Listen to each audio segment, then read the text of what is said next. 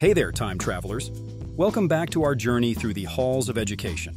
Today we're taking a groovy trip back to explore items that were once commonplace in schools, but have since disappeared into the mists of time. From card catalog to manual typewriters, get ready for a blast from the past. Rolodex. In a time before smartphones, computers, and tablets, the business world was filled with address books, business cards holders, and Rolodexes. Without the modern technology available to remember hundreds of phone numbers and addresses through a simple touchscreen, the people of the day needed an organized way to search through their contacts. Therefore, in 1956, the Danish engineer Hildaur Neilsen invented the Rolodex, being employed by Zephyr American, a large stationery manufacturer in New York. This device held hundreds of specially shaped index cards on which contact information was written. These cards were organized around a center wheel that allowed for the user to quickly sort through the cards and find the correct contact. Typically, these cards were organized by the last name of the contact, so all the school personnel and school students were there. This invention was a huge success during the mid-20th century. Although some organizations would copy information from business cards onto the Rolodex cards, other companies began producing business cards in the shape of the Rolodex cards. This allowed for a much easier filing and organizational process for those wishing to save their information. Today, although it is not often expressed, the term Rolodex can be used to describe any type of personal organizer or business card collection. Manual typewriter. In the 70s, every school had a typing class where students learned to master the art of touch typing on these mechanical marvels. It was about mastering the QWERTY keyboard layout, building speed and accuracy, and preparing for a future filled with paperwork and correspondence. In those typing classes, students were taught the importance of proper posture and hand placement, with teachers emphasizing the need for precision and efficiency. The rhythmic clacking of the typewriter keys became a familiar sound, signaling the march of progress as students honed their skills and prepared to enter the workforce. And while the process may have been slow and methodical, there was a sense of pride that came with mastering the typewriter, knowing that each page typed was a testament to their hard work and dedication. But the typewriter wasn't just a tool for learning, it was a symbol of professionalism and authority. In offices around the world, typewriters were the backbone of administrative work, with secretaries and clerks typing up memos, letters, and reports with speed and accuracy. The clickety-clack of the typewriter keys became synonymous with productivity, signaling to the world that work was being done behind closed doors. Its mechanical simplicity and tactile feedback offer a sense of nostalgia for a time when life moved at a slower pace.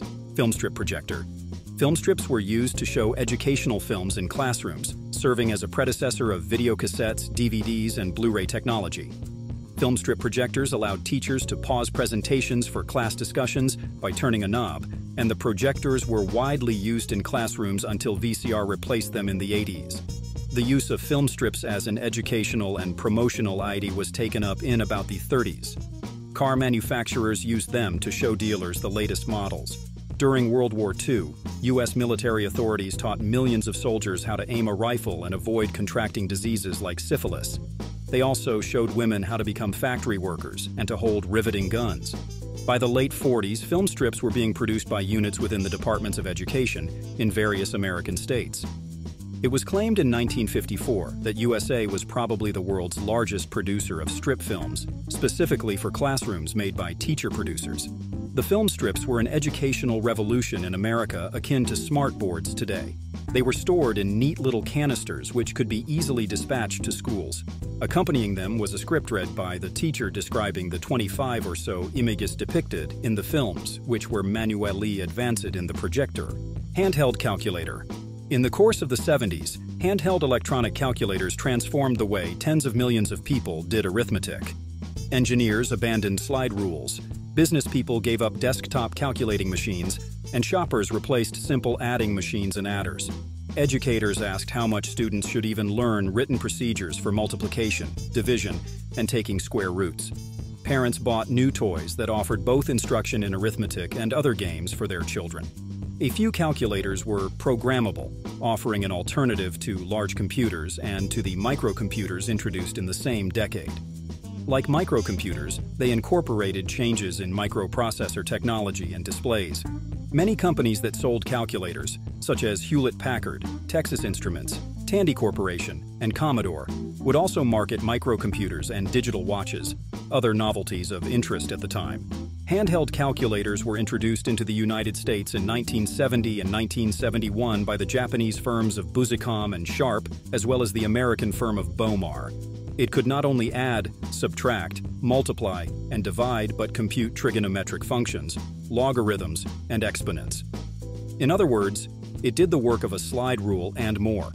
The calculator sold for $395. Not to be outdone, Texas Instruments introduced its first calculator, the Datamath, later that year. The device performed the calculations possible on a slide rule for a somewhat more reasonable price of $150. Metal Lunchbox The history of the modern-day lunchbox began in 1935 when a company licensed the likeness of the then-new cartoon character Mickey Mouse, which it used on its oval-shaped lunch kit.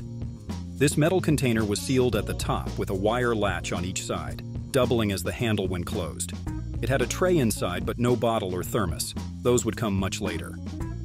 Mickey Mouse lunch kits initially sold for 15 or 20 cents, but today they can fetch anywhere from a few hundred to a few thousand dollars depending on condition. From 1935 through the 80s, placing any popular character on the side of a lunchbox made it a must-have for children who carried them to school. The first lunchbox that was based on a children's TV show was in the 1950 Aladdin model that featured a Hopalong Cassidy decal placed on a red or blue metal box.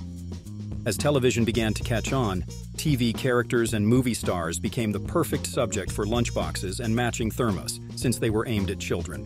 Aladdin continued to make various Hopalong Cassidy lunchboxes throughout the 50s, while American Thermos made nine styles of Roy Rogers lunchboxes between 1953 and 1957. Although the majority of vintage lunchboxes are metal, many companies turned to make vinyl lunchboxes. These are essentially cardboard wrapped and sealed in shower curtain material. Fountain pen. In the 70s, every student's desk was adorned with a fountain pen, a symbol of sophistication and elegance. These pens were more than just writing tools. They were statements of style and craftsmanship. Unlike the disposable pens we use today, fountain pens had a special ink cartridge nestled within them, eliminating the need for messy inkwells like their quill pen predecessors. But what truly set fountain pens apart was the experience of writing with them. As you glided the nib across the paper, the ink flowed effortlessly, leaving behind a trail of rich, vibrant color. Each stroke felt like a dance, creating elegant lines and curves that brought your words to life. It was a sensory experience unlike any other, one that made even the most mundane writing tasks feel like a joyous celebration of creativity. Fountain pens came in a dazzling array of colors and styles, from sleek modern designs to vintage classics. Students took pride in selecting the perfect fountain pen to match their personality, turning these writing instruments into cherished possessions. As technology marched forward, fountain pens gradually faded from the classroom landscape. The convenience of ballpoint pens and later digital devices relegated these once beloved tools to the realm of nostalgia. Card catalog. Card catalogs first became commonplace in the US by the 1870s. At first, those cards were written by hand. Good handwriting became one of the basic requirements for being a librarian. The chief advantage of the card catalog over the book catalog is that new acquisitions can easily be filed without making any older part of the catalog obsolete. That, in turn, made it easy to include added entries. The main entry in a card catalog had all of the bibliographic information about a book. It was usually filed according to the author's name. The added entry had such additional information as the title, additional authors, alternate titles, subject headings, and anything else that seemed necessary. When librarians wrote cards by hand, the added entries included the bare minimum of information that could lead interested users to the main entry. Printed cards made it easier to list the required added entries at the bottom of the card and distribute sets of identical cards, one for the main entry and others for the added entries. In 1967, as an effort to automate their library cataloging operations, Library of Congress employee Henriette Avram creates the Machine-Readable Card Format Code, or MARC, which makes it possible to move cataloging from paper cards to computers. Reel-to-reel -reel tape recorder. Back in the 70s, reel-to-reel -reel tape recorders were the audio stars of American classrooms. These bulky machines resembled something straight out of a sci-fi movie. with their spinning reels and clunky controls. But despite their intimidating appearance, reel-to-reel tape recorders played a vital role in education. The teacher, armed with a microphone and a reel of magnetic tape, recorded a lesson or lecture for future playback. As the tape spun, capturing every word with precision, students listened attentively, taking notes and absorbing the knowledge being imparted. Reel-to-reel -reel tape recorders weren't just used for lectures. They also facilitated language lessons, music rehearsals, and even student presentations. With the push of a button, teachers could record audio snippets to complement their lessons, providing valuable auditory reinforcement for visual learners. But as with many relics of the past, reel-to-reel -reel tape recorders eventually faded from classrooms, replaced by more compact and user-friendly technologies. Digital audio recorders and multimedia platforms revolutionized the way we capture and share information, relegating reel-to-reel -reel tape recorders to the annals of history. Yet for those who experienced the magic of reel-to-reel -reel tape recorders in their school days, they remain fond reminders of a time when audio technology was as awe-inspiring as it was functional. Slide rule. The slide rules were the mathematical marvels that ruled American classrooms. These ingenious devices looked like rulers, but were packed with secret mathematical powers. They helped students solve complex equations without the need for calculators. It was a long, slender ruler with a sliding middle section. This middle part could move back and forth, allowing students to line up numbers and symbols to perform calculations. With a slide rule in hand, students could add, subtract, multiply, and divide with ease. Using a slide rule was like mastering a secret code. You had to learn how to align the numbers just right and interpret the markings to get the correct answer.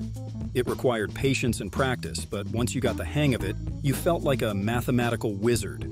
Slide rules weren't just tools for crunching numbers, they were symbols of mathematical prowess. Students proudly carried them in their backpacks, ready to tackle any math problem that came their way. And while calculators eventually replaced slide rules in classrooms, these humble instruments remain a nostalgic reminder of a time when math was a hands-on adventure.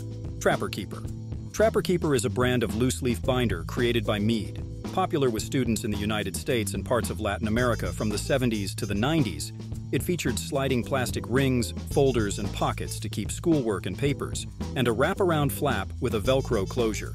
Trapper Keepers usually had a theme, such as a cartoon, television show, or video game. Between 1988 and 1995, Designer Series.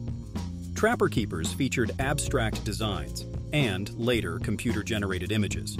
Inside a Trapper Keeper, you could stash your notebooks, folders, pens, pencils, and even snacks for those long days at school. Each section had its own designated space, making it easy to find what you needed without digging through a messy backpack. But the Trapper Keeper was more than just a practical accessory. It was a fashion statement. With designs ranging from bold patterns to beloved cartoon characters, students could express their personality and style with their choice of Trapper Keeper.